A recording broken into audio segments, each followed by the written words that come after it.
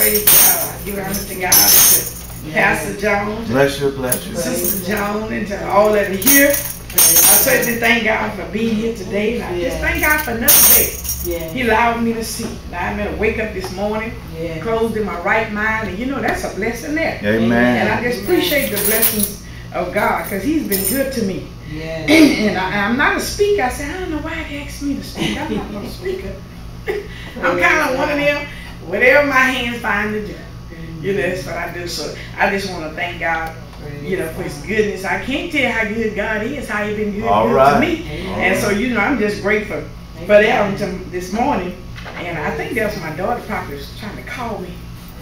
You- you Trying to, you know, get here. So we, we just so grateful for another day. And I say, I'm not sure if it's Women's Day, but I think that's what she said. So anyway, I just thank God for being Amen. here Praise at the the city of David. And you know, God is just good. Yeah. Uh, I was at the hospital kind of late last night uh, with my sister, and uh, you know, God has just uh, brought her from a long ways, even though she got you know uh, a way to go. But you know, I just thank God for how He's still keeping her. Yeah. And it seemed like by the time one thing gets straight, then the doctors, you know, come with something else. And uh, her husband, he's a pastor in Port Arthur, Texas, so he haven't been to his church in probably over a month. I think it's been probably about a month now.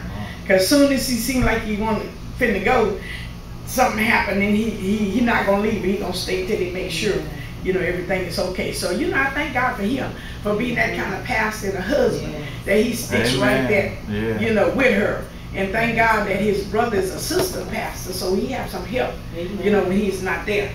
But I just thank God, and I don't thank God for my son. I tried to call him last night, and he didn't answer. And I'm like, I need me a show for this man. I don't know where I'm going. so I called him this morning. I said, I need a chauffeur. I need somebody to drive me. So he got ready, and then he brought his little one. So you know, I thank God for him. You know, Amen. uh, Amen. for that. And I just, I'm so grateful, you know, just to be here. And uh, I'm not long-winded. I'm kind of like I heard the evangelist say, say, God is all night God, but I ain't no all night God. so God is all day God, but I ain't all day God. Amen. Praise but we're gonna go to the book of uh, Romans. All right. Because I heard a preacher, I was listening to a preacher last week while I was up at the hospital, and he was talking about uh, this lady, and uh, he was saying different things about it. I said, well, I'm going to look this lady up and see, you know, what did she do? And uh, her name is uh, Rhoda. Am I pronouncing that right? Mm-hmm. uh, uh, uh, we going in Romans the 16th chapter, All right. and we just gonna do the first and second verse. No, that's not Rhoda. I'm not pronouncing her name right. Phoebe. Thank you, ma'am. And I got it right here. Uh,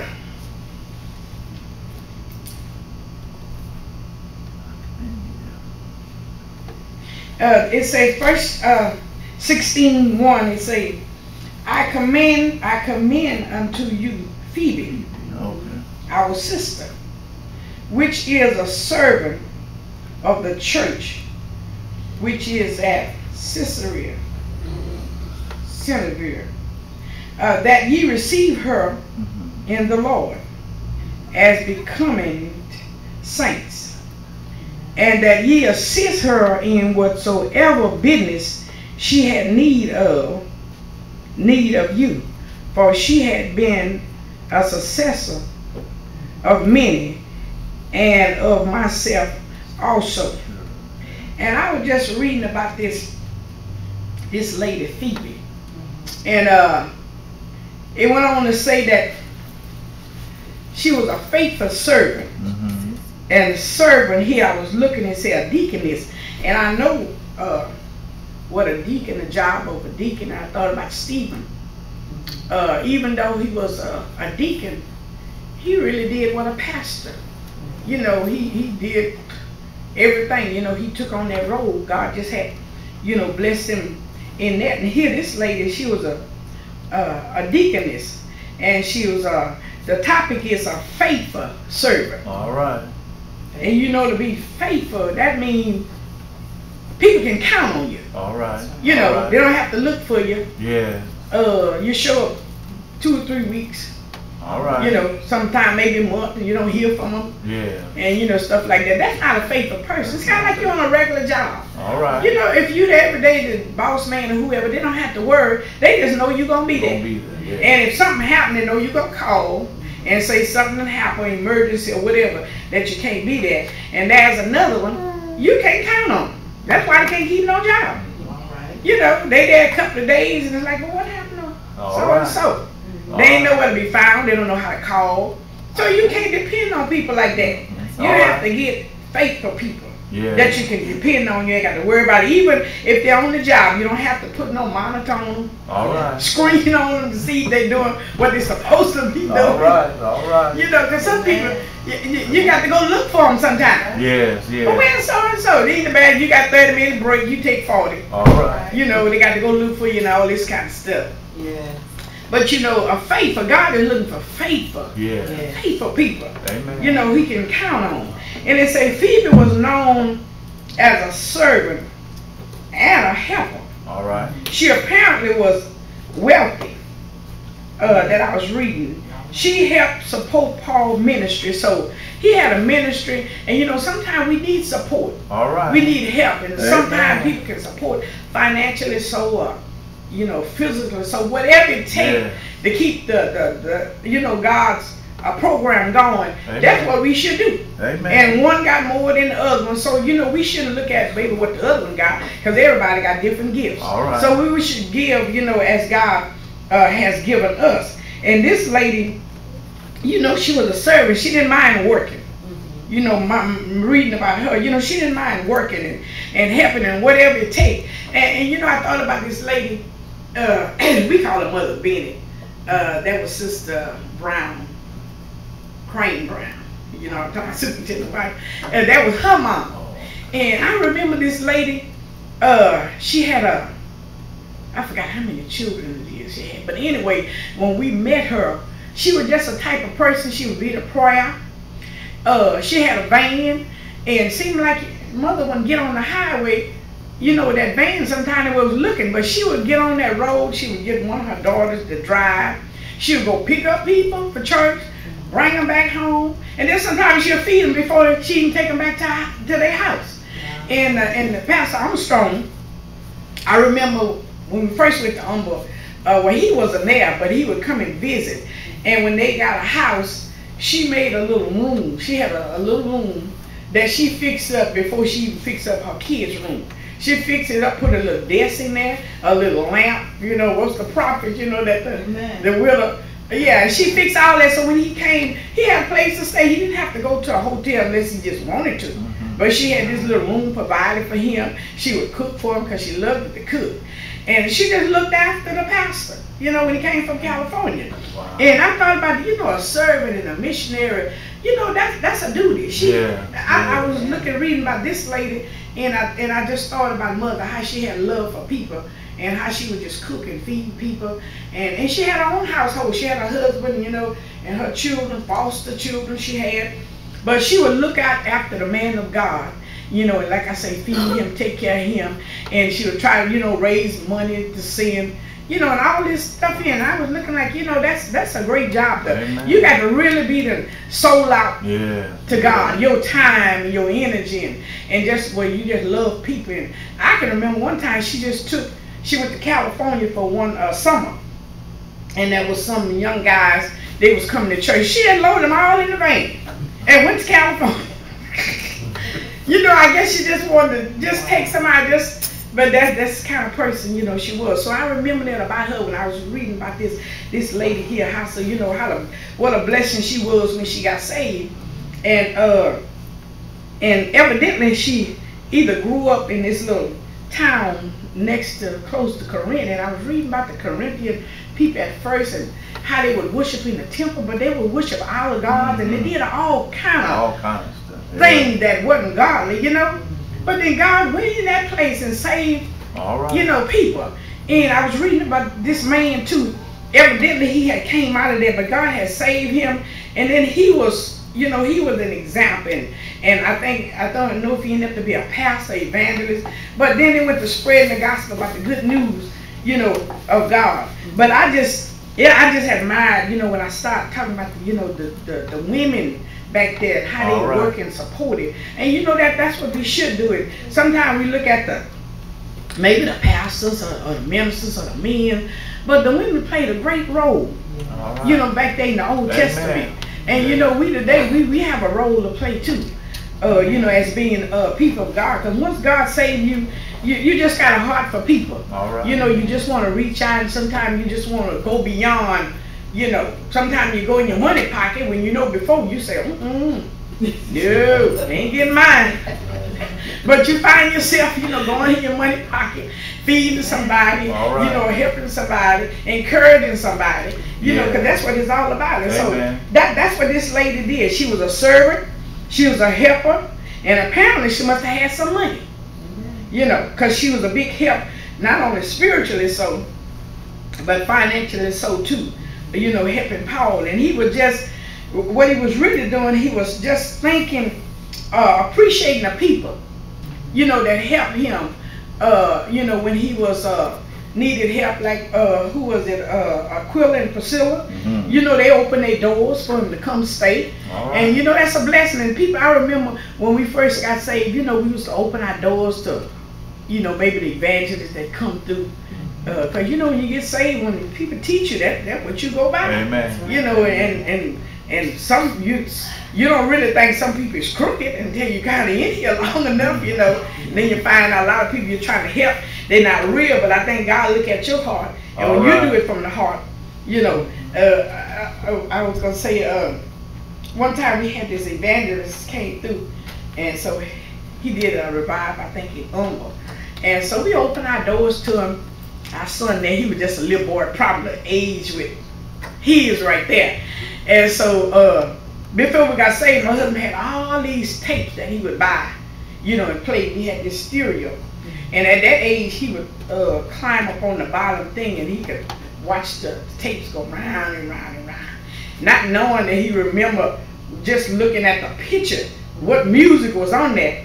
And so we had put all this stuff up and he throw them away, You just had to put them up. So this evangelist came to the house and we was up in there. All of a sudden we heard this music going. He done went in there and put a tape on Blues.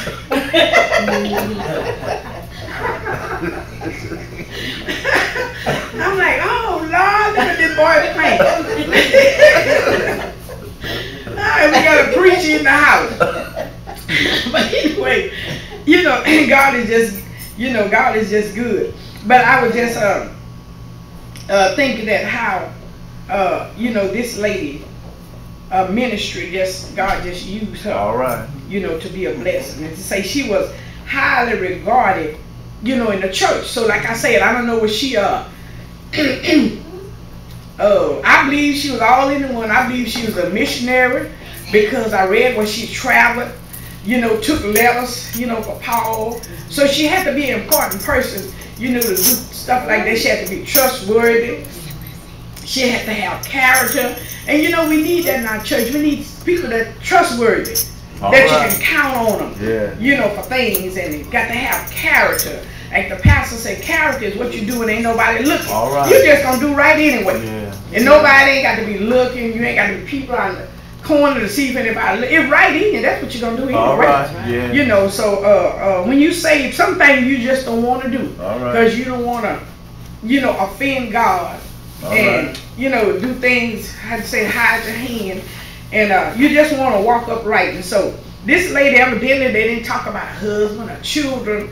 She seemed like she was just a person that was sold out. All right. And like I say, she took her time and money, you know, and everything for for the gospel's sake. Yeah. Yeah. And uh, uh, women play an important role, you know, in in the church. Amen. And so that's why we have to train, you know, our young women, yeah. you know, start them from small coming up. Because, you know, we never know what our children going to be when they grow up. That's Right. Sometimes right. we look at them as, you know, little boys and little girls and we don't look at maybe what God's going to do with their life, you know, when they grow up. And so we have to be careful uh, even how we train them up and how we treat them. We have to be careful sometimes how we treat our children too. Because sometimes we can say things, you know, negative about them and all that when they're growing up. And a lot of time that, you know, as they grow up, all this is still in them. But if you teach them godly character, and you know, you never know, they might be the next uh, uh, uh, pastor, the next, you know, evangelist. You, you just never know. All right. And I always sometimes think about uh, Craig Franklin. You know, uh, he say how he was raised up and and but that, that parent or whoever they didn't know what that young man was gonna be right. when he grow up. But God used somebody else, That's right. you know, to, to train him and to take him. And, and like they say, sometimes I was looking at this movie where uh, this man he didn't care. He didn't do nothing for his son except talked about him and talked about the mama and everything. Never did nothing for him. And when he got to be famous, then he wanted to get on the stage and talk about my son. Oh, yeah. So he got, they said, well, daddy, where were you when I was hungry? Where were you when all this has happened? So he got embarrassed then because he didn't do anything to help his son. All right. Now when he saw the son making money, then he wanted to get into his life, All but it was too late then. Yeah. So we have to love our children, you know, and train them up because we never know what they're going to grow up to be.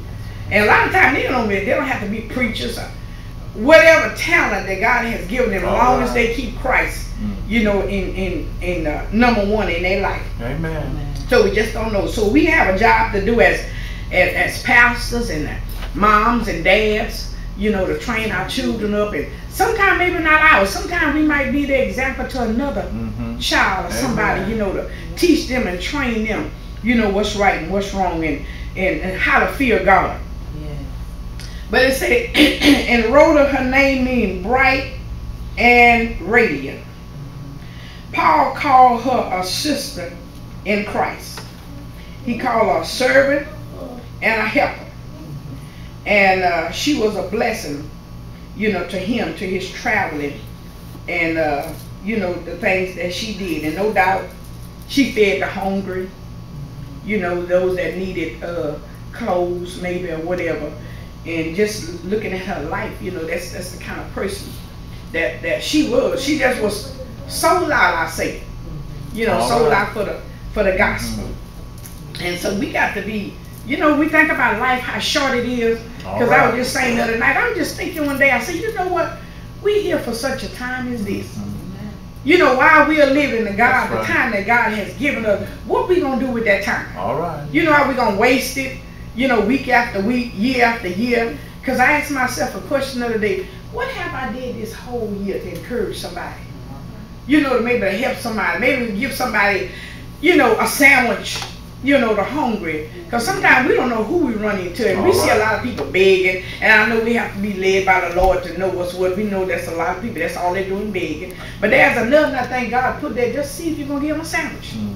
you know, uh, uh, uh, whatever help they need. They need a ride to church or, uh, or whatever, whatever your hands find to do, as is you do, if you do it as unto God, All right. you know, God's God honored it. So Amen. while we got this time, we have to we have to use it because we ain't gonna get it back.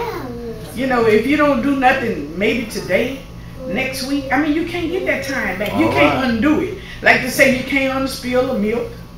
You can't unspill a scrambled egg. Once you Oh, scramble it, you yeah. can't put that back together. You know, and make it whole. So we're gonna have to uh, uh, really seek God and, and, and guidance from Him to know what direction you know He have us to go in. He just only wants us to live holy, you know, walk upright, and uh, whatever task He's put before us. And sometimes people think it's hard living saved. No, it's not. You know, when you make up your mind to All live for God, it Yeah. makes your home better. All right. You know, you got more Yeah. peace in the home and Amen. and and and, and you know in the church. Amen. Evidently, this lady wasn't no gossiper, uh, one that just stayed on the phone because they didn't have phone back then. But now, I tell you the truth, they got phone. They got what's that? Just about everything you can name. My brother-in-law was telling me that when his children come back to visit him again, he gonna tell them leave them phones in y'all cars or whatever. Cause the whole time everybody sitting, this everybody face. All Everybody right. to themselves. Nobody talk anymore. Yeah. You know, even text now. Nobody talk on the phone anymore. Uh-uh. Everybody text. So you know, something is good, but sometimes we can't get wrapped up in all of that because we don't keep communicating no more. All right. No, we You don't. know, we're gonna have to learn to get together. Sometimes fellowship. That's why sometimes the pastor here fellowship. Because sometimes we need to get together and know one another. All right. Because we'll come to church year after year, month after month, and don't even know the one you be in church for the whole year. Right. You ought to know something about, you know, if you've been in the church for somebody a whole year, mm-hmm. something about do they have a family, where they from, you know, or something. So we need to learn, you know, as saints to help each other, to be a servant, All to communicate, and you know, not looking to see what the other one gonna do. Mm-hmm. Find, let, you know, whatever your hands find to do. All right. They All told me when I first got saved, whatever your hands find to do, Do- then you do that. You might not can do like the other person. Right. You can find something to do. You God not gonna save you to just be a bench member. I do know that. You know, if you just come and be a bench member, there's something wrong somewhere. wrong. you can't say yeah. you saved and just come sit down. All right. No, I don't believe that because you know I when I got saved, I was a person I I ain't talk to nobody. I was really shy. I put it that way. But I asked the lady one time, cause you know you just feel bad when you don't do nothing. Well, I say me, I talk about me. And so I asked the lady, I said, well, is it all right if I come clean the bathroom, if I put some curtains up or something? So they say, sure. So, like the pastor said, when you find your niche, you do that. So maybe you see things need to be painted. Yes. yes. Volunteer. Mhm. You know, some things you just like to do. Some things people just like to do. Now my son, he loves food with wire and all that. And see, I'm looking at this here, what y'all got. So we gonna talk about that on the way back to church. You know, putting this screen up. All right. He likes to do all that. Wow. So you know, you make it available, and he he gonna hook it up. All right. So you always learn from other people. Yeah. I try to stay open minded. You know, when I see things, oh wow, that's nice. And so you know, I enjoy that the screen with the words on it. I, I just be saying, I don't be knowing all the words. but you know, today I saw the words. you know, because sometimes we gotta be humming stuff. I sing word that even the song. you know, but if you know the words, well, then you can sing along. Amen. You know, with the others. So it's always good to learn, you know, from somebody else, Yeah. And not think you know it all. Because I say I'll be learning till Jesus come. All right. It's always something Always to learn, learn something from to learn. somebody. You can even learn from the kids. Amen. Even though sometimes my grandkids, they'll tell me since I'm from Louisiana, well, Big Mama, how you say 15? They say I don't say it right. I say, well, I finished high school. You still in elementary school. so you better get out of elementary and middle school before you try to talk about how I talk. I said I at least came out of school. So anyway, so you know, I just thank God. You can, you can always learn from kids and sometimes I say, okay, well how you pronounce this or that? So I said, okay, maybe I'm not, I'm not, uh, maybe I'm not pronouncing it right, but okay, God know my heart. So anyway, we just appreciate God today, and I just want to. This lady, she just when, when I heard a preacher talk about her, I just decided, you know, to read a little up on her to see what kind of person she was, and you know how to better, you know, my life and you know with God, and my walk with the Lord, how I can be a a better helper. Uh, uh, you know, not only in the church but to other people. All to know that you know God will open doors and and He'll make you know make ways for you. And just do things. We just live right, you know, just live holy. And every day it's not gonna be easy, you know, all the time. But you know, God He'll guide us. And if this day don't go right, Lord, well, I thank you. You know, for this day, even though maybe everything didn't go right, I'm looking forward to another All day. right, all right. Sometimes you don't feel good, but you got to keep going Amen. you know, and maybe things, like I said, don't work out maybe on the job. Okay, maybe you got a better one, but he gonna see how you're gonna do on this one. That's right. You be faithful on this one, you know, then he open another door for you. Amen. So sometimes we just can't look at life as things that happen and this ain't working out, that ain't working out. But I was reading, you know, when you pray to God, I found out he heard me the first time. All right. He just want to see if I'm gonna still be faithful, Yeah. you know, to him, whether the day go good or whether it go bad. Sometimes I feel good, and and you know, sometimes in the enemy he want to come in and discourage you and things. Because I think about my sister in the hospital, and I'm sure some days, you know, she want to get discouraged and just you know give up.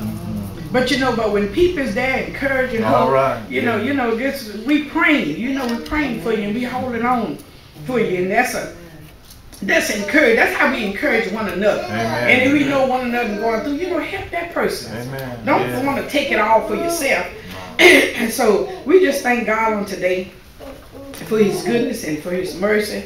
And you know, God is just good. And and, and like Eleanor say, God is a, he's all day God, but I mean uh, all night talk or however you want to put him, but I'm not all day. So uh, anyway, we just appreciate God for all of his goodness and, Praise and just for all of his mercy. And sometimes I just think about, you know, where he brought me from and out of. And I say, God, you know you're just good. Because sometimes I just wanted to give up. You know, even being a pastor's wife, I never desired that. You know, my husband got saved. I'm like, Lord, you sure? You know, uh, I mean, uh, is my husband gonna be a pastor? So that means to be a pastor. That means I'm gonna be a pastor's wife. Oh Lord. that means every time he go, I got to go. so sometimes I feel like going, but I say, okay, I got to go too. Sometimes we had to drag the children too. They didn't want to go. but you know, when you're small, you ain't got no choice. Yeah, yeah. And sometimes you, you just don't think that. And I remember when we was going to Bay City, uh, our son, he was old enough for a job then. Uh, well, I thought he was working one time. we driving all this way. He probably working. We dragging the girls up and down the road. I'm like, ah, so they didn't want to go. And I'm thinking, okay, he old enough where he can stay and work and do all this here. One time I find out he wasn't doing that. But uh, I know, you know, a lot of times they got discouraged, you know, and didn't want to go. 'Cause a lot of times, to be honest, I didn't want to go. But, uh, you know, but God, I've seen where God has brought us from. Amen. And, you know, now they all grown, you know, got their own children and everything. And uh, God just took us through some thing, and and I find out in this life, He gonna take you through things just to see, All right. are you really, All right. you know, love me like you say you do. And uh, so I just thank God, cause sometimes uh, I was listening at Pastor Coulter uh, yesterday, uh, cause he passed in Bay City. And he was saying how the fog was so bad that they couldn't hardly see, you know, coming back home. And I can remember uh, time we went to Bay City on a Friday night, and the fog was so heavy, we couldn't even see the car in front of us. We had to get close enough to see the lights. Yeah. And uh, several times we started out and got on 59 somewhere, and my husband turned around and we was all doing this. Cause we were glad we was going back home. That was too funny to be going in the fog. We couldn't even see nothing. But but he was dedicated, you know, to that church in Bay City. And he kept going and going until God fixed it where, you know, we came back uh, to Houston. But while we was there, we was faithful, sometimes five days a week working, you know, all day long, and then getting off and getting ready and going to Bay City. Sometime on Sunday we had to sleep on the chair if we had evening service. We would nap on, on, on the seats until the service was over with, you know, we'd come back home. And I think about all that, wow. And I say, you know, God, He He don't forget your labor All right. and All love right. whatever you do. You know, He don't forget that. You know, and the long we'll see it. You know, as time go by, I've seen how God has opened doors. You know, and made ways. You know, just since I've been saved. And so I find out He's good, and I think, you know, we wouldn't have been saved. We probably wouldn't have had this All or that right. you know, and that, but I don't know. I don't know. You know, I don't know how God do it. I know how He do it. I know even paying tithe and you know just giving. It looked like you just give all you got, and all of a sudden look like you got more than the one don't do nothing. Right. You know, financial. So I said, well, well, I mean, I don't know how God do it. That's what I tell people. I don't know how He do. All I know, if He says word All says, right. that means He gonna bring it He's to gonna pass. bring it to pass. If He say He gonna bless you, you bless Him.